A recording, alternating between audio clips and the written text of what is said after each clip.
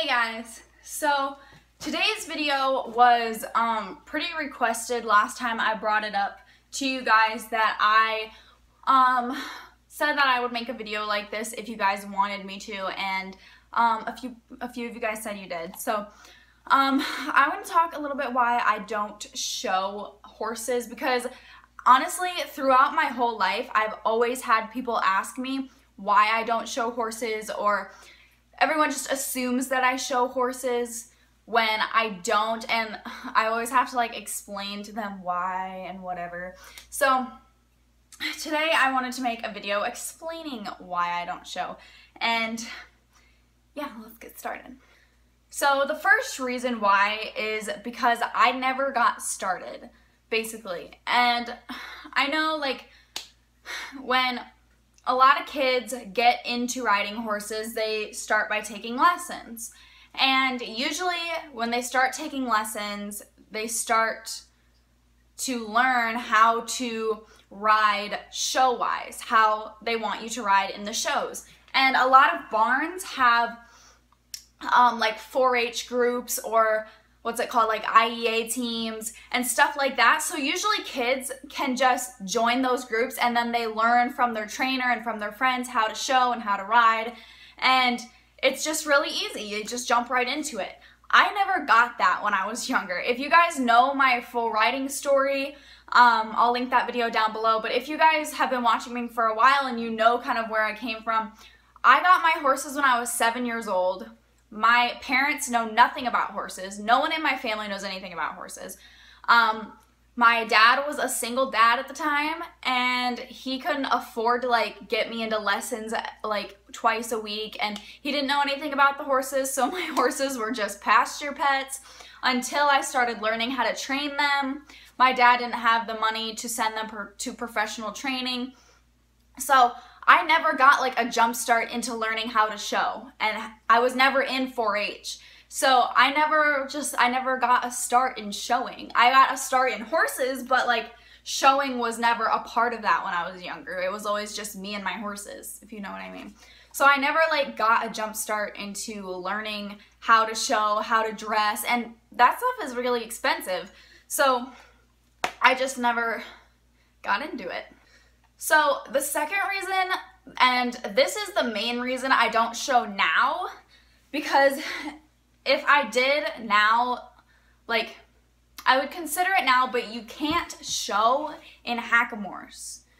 And I know some shows differ in the rules, but most of the shows around my area, I said that really weird, around my area, um, go by AQHA regulations, which is the American Quarter Horse Association. And in the AQHA rulebook, it says that any horse five years or older cannot be shown in a hackamore or a snaffle bit. So if I were to use bits, if I wanted to go to a show, the snaffle bit's the only bit I'm going to use on my horse. I don't care what the rules are. I'm not putting a nasty leverage bit in my horse's mouth and you can't use the, either of those. You can't use hackamores or snaffle bits. And so it's so messed up and I'm just not going to do that to my horses even if I wanted to show them whatever. I'm just not going to show them. So yeah, it kind of sucks and it's really stupid and I don't understand why that's the rules, why you have to have a shank bit because I've been to shows where people have had to change their bits because their horse was over five years old and they had to change to a shank type of bit. So it's really stupid. I think it's just a stupid rule. So I'm not gonna just use a bit in my horse's mouth just because I want to show, okay? I care about my horses more than showing, so. The third reason is because I'm honestly just not a competitive person. I'm not at all. I know some, like most people actually love competition. They love competing and getting out there and going against other people. And honestly, that's why my athletic career didn't really work out ever because aside from the terrible coaching that I experienced, I just wasn't a competitive person. When I ran track, oh my god, if I lost the race, I didn't give a shit at all. Like, I was like, oh well, I don't care. I lost the race, oh my god, oh, oh well. Same with like, volleyball I was more competitive in because I was working with my team on the court, but like with and track meets are actually pretty similar to horse shows. You go in your event, then you wait till your next event and you find out where you place, and it's an individual sport. And I just was never competitive. Like, oh well, I I didn't care if I lost, and even if I did win, like I was happy, like oh my gosh, great, like I won, which never freaking happened. I was terrible at running, but I was just not a competitive person. I just didn't care if I lost. I was like, what the fuck ever. Oh well, I'm just here to be in shape. Okay, the fourth reason is because I have never had the money to show, okay? Showing costs money. And now that I'm getting older, I have a little bit more money. I did buy a show shirt. It's hanging up there in my closet. But anyways, um, that show shirt cost me 15 bucks. Like, I paid $15. I'll show you guys.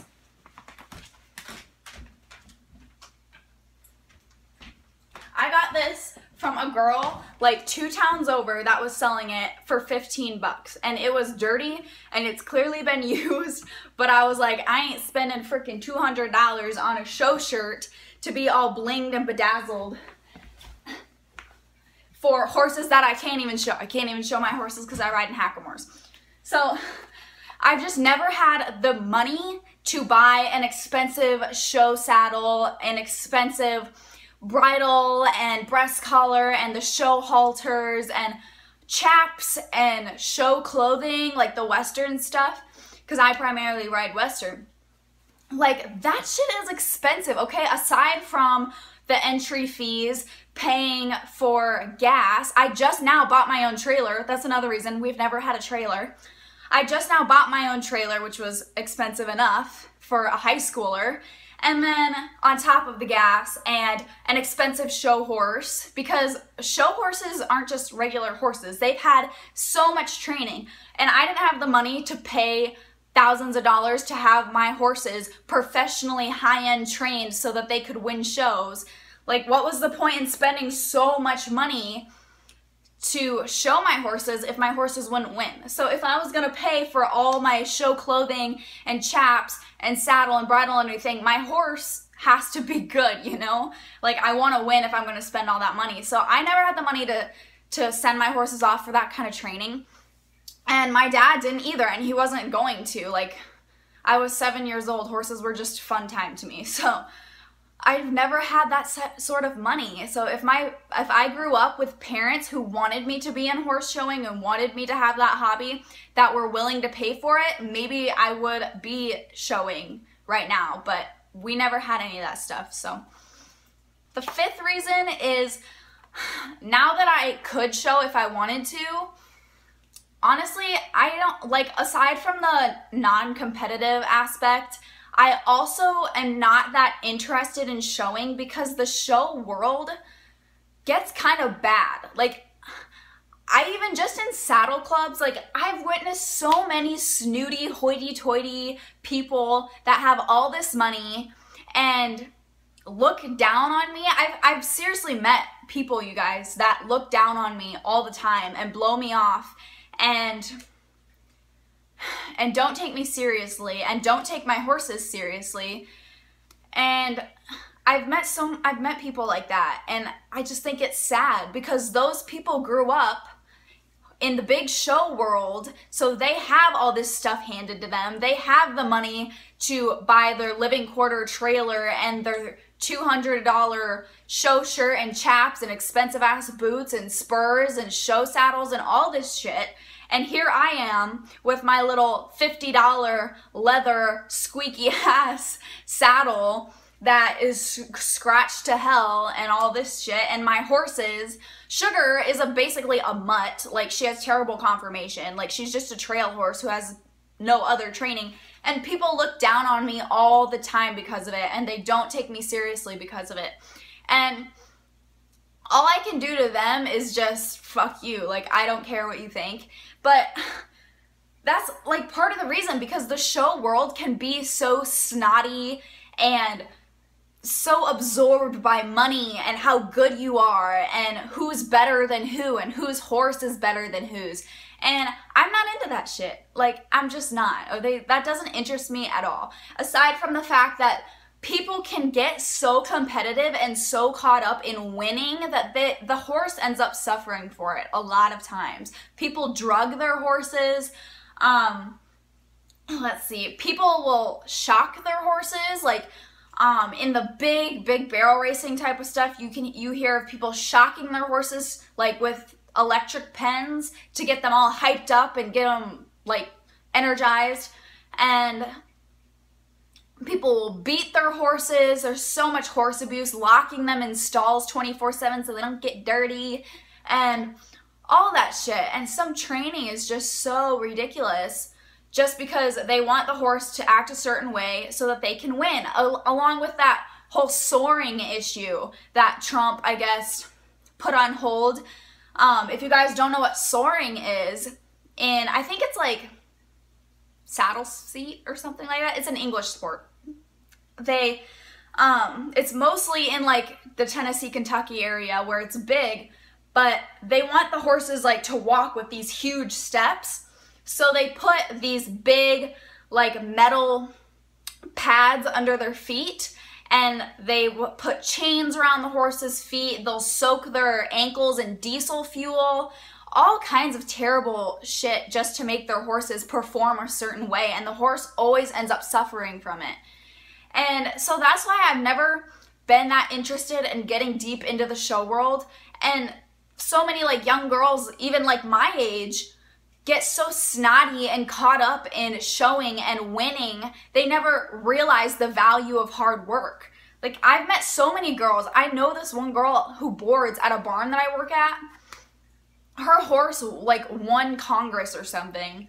So she's got, like, this thousands of dollar horse, but she hasn't been riding that long. I mean, yeah, her parents had the money to just go buy her a horse that has all the training. Like in in my world i had to do the training. If i wanted my horses to do something i had to teach them to do it. Okay i couldn't just afford to go out and buy something that knew, knew how to do it. Okay to me that's not winning. I don't feel like i'm winning unless i put in the hard work and the effort to win. Like if i can just go buy something that will win for me that's not winning in my opinion if you know what I mean. Some people, to some people it is, and that's, you know, that's whatever, that's their own thing. But to me, I want to work hard to win my way. And I don't know, just, that's kind of like cheating to me. I don't know, it just seems like it's cheating to me. Like, you didn't put in that effort and hard work to win because you're a good horseman. You just bought a horse that does good for you. You know what I mean? Like, I don't know. So, for various reasons, that's why I don't show currently. Mainly because you can't show in Hackamores, but those are some other reasons why I don't show as well. Um, except for speed events. Speed events, you can use whatever tack you want. So that's why I've done some barrels and stuff like that. But other than the other stuff, that's why I don't have never shown.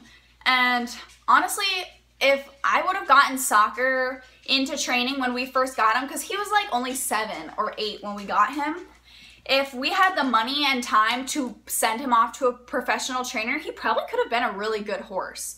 And I've even had people look down on me for that. Like I had such a nice horse that went to waste or whatever, but it is what it is, and I don't plan on getting rid of him anytime soon. I don't plan on getting rid of him at all. so he's gonna be mine forever, whether people like it or not. But I'm just saying, he probably really could have been a nice show horse. Um, but yeah, so that's my video. Hope you guys enjoyed, and let me know if you guys want to see anything else, and I'll see you in my next video. Bye!